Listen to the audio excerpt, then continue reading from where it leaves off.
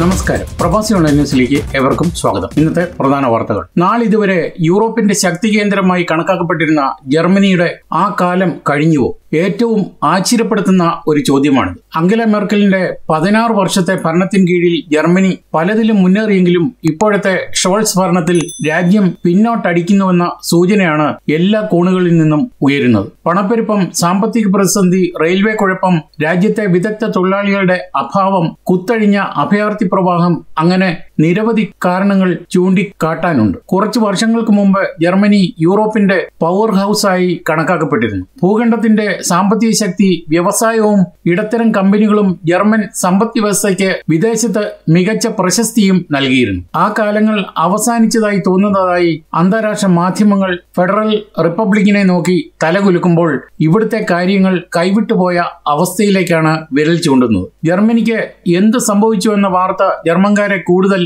ഭയപ്പെടുത്തുകയാണ്. രാജ്യത്തിന്റെ സമ്പദ് വ്യവസ്ഥ തകരുകയാണ്. ജർമ്മനിയുടെ തകർച്ച എങ്ങനെ തടയണമെന്ന് പലരും പല വിദഗ്ധരും വിശദീകരിക്കുന്നുണ്ട്. മാന്യം ഉദാഹരണമായി എടുത്താൽ യൂറോസോണിന്റെ എഞ്ചിൻ വ്യാവസായിക ശക്തി കേന്ദ്രം കയറ്റുമതിയിലെ ലോക ചാമ്പ്യൻ മുൻകാലങ്ങളിൽ ജർമ്മൻ സമ്പദ് വ്യവസ്ഥയെ ഇങ്ങനെയാണ് വിവരിച്ചിരുന്നത്. ഏറ്റവും പുതിയ കണക്കുകൾ സൂചിപ്പിക്കുന്നത് നല്ല കാലം അവസാനിച്ചുവെന്നും യൂറോപ്പിലെ ഏറ്റവും വലിയ സമ്പദ് വ്യവസ്ഥ മാന്യത്തിൽ മുങ്ങിയിരിക്കുകയാണെന്നുമാണ് പറയുന്നത്. യൂറോപ്പ് വീണ്ടും വളരുമ്പോൾ ജർമ്മനി ചുരുങ്ങുകയാണ്. ജർമ്മനിയുടെ നിലവിലെ സാമ്പത്തിക പ്രശ്നങ്ങളുടെ ഭാഗമാണ് പണപ്പെരുപ്പം എന്ന് തെളിയുകയാണ്. പ്രത്യേകിച്ച് വളർച്ച മുരടിപ്പുമായി ബന്ധപ്പെട്ട് പറയുമ്പോൾ ഫലം ഇഴയുന്ന മാന്യം എന്നാണ്. പണപ്പെരുപ്പവും ശരാശരിക്ക് മുകളിലാണ്. ജർമ്മനിയിലെ വിലവർധനവ് ഇപ്പോഴും യൂറോസോണിലെ നിലവാരത്തിന് മുകളിലാണ്. സൂക്ഷ്മമായ ആസൂത്രണത്തിന്റെയും സമയനിഷ്ഠയുടെയും രാജ്യമായ ജർമ്മനിക്ക് അതിന്റെ ട്രെയിനുകൾ കൃത്യസമയത്ത് ഓടിക്കാൻ കഴിയുന്നില്ല. പ്രശസ്ത വാൾ സ്ട്രീറ്റ് ജേണൽ ബുധനാഴ്ച ജർമ്മനിയെ കളിയാക്കിയത് ഇങ്ങനെയാണ്. യു എസ് പത്രം അവിശ്വാസത്തോടെ എഴുതി. കഴിഞ്ഞ വർഷം ഡോയ്ച്ചെ ബാൻ നടത്തിയ ദീർഘദൂര ട്രെയിനുകളിൽ മൂന്നിലൊന്ന് വൈകി. പത്ത് വർഷത്തിനിടയിലെ ഏറ്റവും മോശം ഫലമാണിത്. ജർമ്മനിയിൽ കാലക്രമേണ കൃത്യസമയം പാലിക്കാത്ത ട്രെയിനുകൾക്ക് ശീലമായി. ട്രെയിനിനെ കളിയാക്കുന്നത് ഒരു ദേശീയ കായിക വിനോദമായി മാറിയിരിക്കുന്നു. സർക്കാർ ഉടമസ്ഥയിലുള്ള കമ്പനിയിലെ ജീവനക്കാർക്കിടയിൽ പോലും ഇങ്ങനെയാണ് പറയുന്നത്. വർഷങ്ങളായി നിഷ്കരണം കാര്യക്ഷമതയുള്ള യൂറോപ്യൻ പവർ ഹൗസ് എന്ന ഖ്യാതി നേടിയ ഒരു രാജ്യത്തിന് ഏറ്റവും പുതിയ ദേശീയ നാണക്കേടാണ് ട്രെയിൻ പരാജയം. നമ്മൾ ഒഴികെ എല്ലാവരും വളരുന്നു എന്ന് പറഞ്ഞാലും ഏറെക്കുറെ ശരിയാണ്. രാജ്യത്തിന്റെ സമ്പദ് വ്യവസ്ഥ ചുരുങ്ങുന്നതിന്റെ ഏഴ് കാരണങ്ങൾ പ്രത്യേകിച്ച് പറഞ്ഞാൽ അപൂർവമായി കമ്പനികൾ അശുഭാപ്തി വിശ്വാസവും പ്രവചനങ്ങൾ വളരെ ശോചനീയവുമാണ്. സമ്പദ് വ്യവസ്ഥ പരാജയപ്പെടുന്നു. സമൃദ്ധി അപകടത്തിലേക്ക് നീങ്ങുന്നു. ജർമ്മനി ഈ വർഷം അതിന്റെ അവസാനത്തെ മൂന്ന് ആണവനിലയങ്ങൾ അടച്ചുപൂട്ടി. ഈ ഊർജ സ്രോതസ്സിന്റെ ഉപയോഗഘട്ടം ഘട്ടമായി നിർത്തലാക്കുമെന്ന ദീർഘകാല വാഗ്ദാനത്തിൽ തന്നെ ഉറച്ചു നിൽക്കുമ്പോൾ ജർമ്മനിയുടെ പോക്ക് തകർച്ചയിലേക്കാണ്. ഇന്ത്യയിലെ German embassy Schengen visa processing സമയം എട്ടാഴ്ചയായി കുറച്ചു. പ്രോസസ്സിംഗ് സമയം കുറച്ചതിനാൽ ജർമ്മൻ ഷെങ്കൻ വിസയ്ക്ക് അപേക്ഷിക്കുന്ന ഇന്ത്യയിലെ പൗരന്മാർക്ക് ഡോക്യുമെന്റ് വേഗത്തിൽ ലഭിക്കും. പ്രോസസ്സിംഗ് സമയം എട്ടാഴ്ചയായി കുറച്ചതായി ഇന്ത്യയിലെ German എംബസിയിലെ deputy head of mission George എൻസ്വൈലറാണ് ഇക്കാര്യം അറിയിച്ചത്. മുംബൈയിലെ കോൺസുലേറ്റിലെ ജീവനക്കാരുടെ എണ്ണം ഗണ്യമായി വർദ്ധിപ്പിച്ചു. കാത്തിരിപ്പ് സമയം ഗണ്യമായി കുറച്ചു. ഇപ്പോൾ ഏകദേശം എട്ടാഴ്ചയാണ് ഇതിന്റെ പ്രോസസ്സിംഗ് ടൈമായി കണക്കാക്കുന്നതെന്നാണ് എൻസ്വൈലർ ഒരു പത്രസമ്മേളനത്തിൽ അറിയിച്ചത്. ജർമ്മൻ എംബസി കൂടുതൽ ശ്രമങ്ങൾ തുടരുമെന്നും അതിനാൽ പ്രോസസ്സിംഗ് സമയം ഇനിയും കൂടുതൽ കുറയുമെന്നും എൻസ്വൈലർ അറിയിച്ചു. അതേസമയം ഇന്ത്യയിൽ നിന്ന് കൂടുതൽ സന്ദർശകരെ ആകർഷിക്കുക എന്നതാണ് രാജ്യത്തിന്റെ ലക്ഷ്യങ്ങളിൽ ഒന്നെന്ന് അദ്ദേഹം പറഞ്ഞു. സിസ്റ്റത്തിൽ മെച്ചപ്പെടുത്തലുകൾ ആവശ്യത്തിലധികം ഉണ്ടെന്നും അദ്ദേഹം വെളിപ്പെടുത്തി. മേൽ പറഞ്ഞവയ്ക്ക് പുറമെ ബ്യൂറോക്രാറ്റിക് വെല്ലുവിളികളെ എൻസ്വൈലറും അംഗീകരിച്ചതായും പ്രശ്നം പരിഹരിക്കാൻ നടപടികൾ കൈക്കൊള്ളേണ്ടതുണ്ടെന്നും അദ്ദേഹം വിശദീകരിച്ചു. കൂടാതെ അപേക്ഷകർക്ക് മുമ്പത്തെ പോലെ നീണ്ട കാത്തിരിപ്പിന്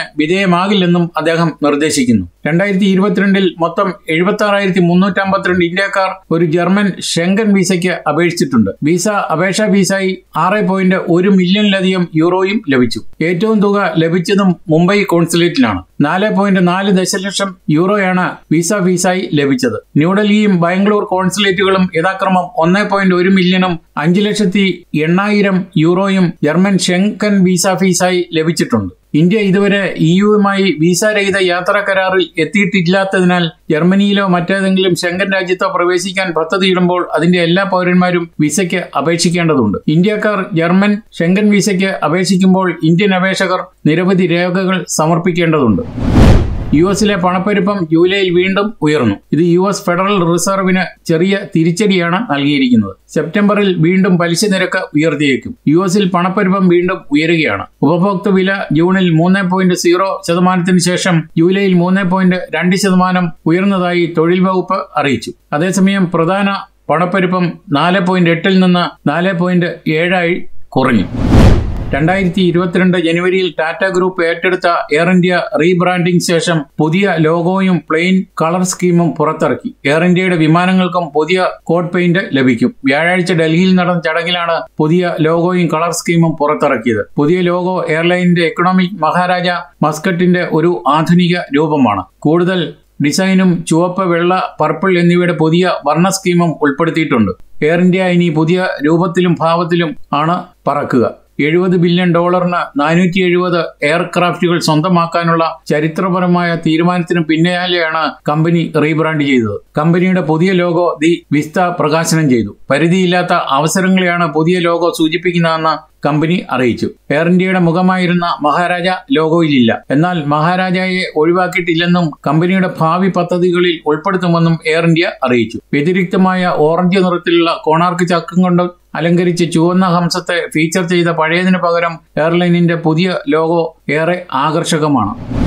ആഭ്യന്തര ലഹളയിൽ കത്തിയെരിയുന്ന മണിപ്പൂർ വിഷയത്തിൽ മോദി സർക്കാരിനെതിരെ സംയുക്ത പ്രതിപക്ഷം കൊണ്ടുവന്ന അവിശ്വാസ വോട്ട് പരാജയപ്പെട്ടു. പ്രധാനമന്ത്രി നരേന്ദ്രമോദിയുടെ സർക്കാർ മൗനത്തിലാണെന്നും ബി ജെ പി പാർട്ടി ഭരിക്കുന്ന സംസ്ഥാനമായ മണിപ്പൂരിൽ നടക്കുന്ന അക്രമാസക്തമായ അശാന്തി അവസാനിപ്പിക്കാൻ വേണ്ടത്ര ചെയ്യുന്നില്ലെന്നും ഇന്ത്യയിലെ പ്രതിപക്ഷം ആരോപിച്ചു. പ്രധാനമന്ത്രി നരേന്ദ്രമോദിയുടെ സർക്കാർ വ്യാഴാഴ്ച പാർലമെന്റിൽ അവിശ്വാസ പ്രമേയം പരാജയപ്പെടുത്തുകയായിരുന്നു. പ്രതിപക്ഷ എം പിമാർ ചേംബറിൽ നിന്ന് ഇറങ്ങിപ്പോയതിനു ശേഷം തൊട്ടു പിന്നാലെയാണ് സ്പീക്കർ വിളിച്ച ശബ്ദ വോട്ടെടുപ്പിൽ പ്രമേയം പരാജയപ്പെട്ടത്. വോട്ടെടുപ്പിന് മുന്നോടിയായി തന്റെ സർക്കാരിനെ പ്രതിരോധിച്ചും പ്രതിപക്ഷത്തെ ആഞ്ഞടിച്ചും പ്രധാനമന്ത്രി തീപ്പൊരി പ്രസംഗവും നടത്തിയിരുന്നു. ഇതോടെ ഈ വാർത്താ ബുള്ളറ്റിൻ ഇവിടെ പൂർണമാവുകയാണ്. നിങ്ങൾ നൽകി വരുന്ന എല്ലാവിധ പിന്തുണയ്ക്കും ഞങ്ങൾ ഹൃദയപൂർവം നന്ദി അറിയിക്കുന്നു. അതോടൊപ്പം കൂടുതൽ വാർത്തകളും വിശേഷങ്ങളും അറിയാൻ യൂറോപ്പിലെ ആദ്യത്തെ മലയാളത്തിലുള്ള ഓൺലൈൻ പോർട്ടലായ പ്രവാസി ഓൺലൈൻ ഡോട്ട് സന്ദർശിക്കുക. നന്ദി നമസ്കാരം.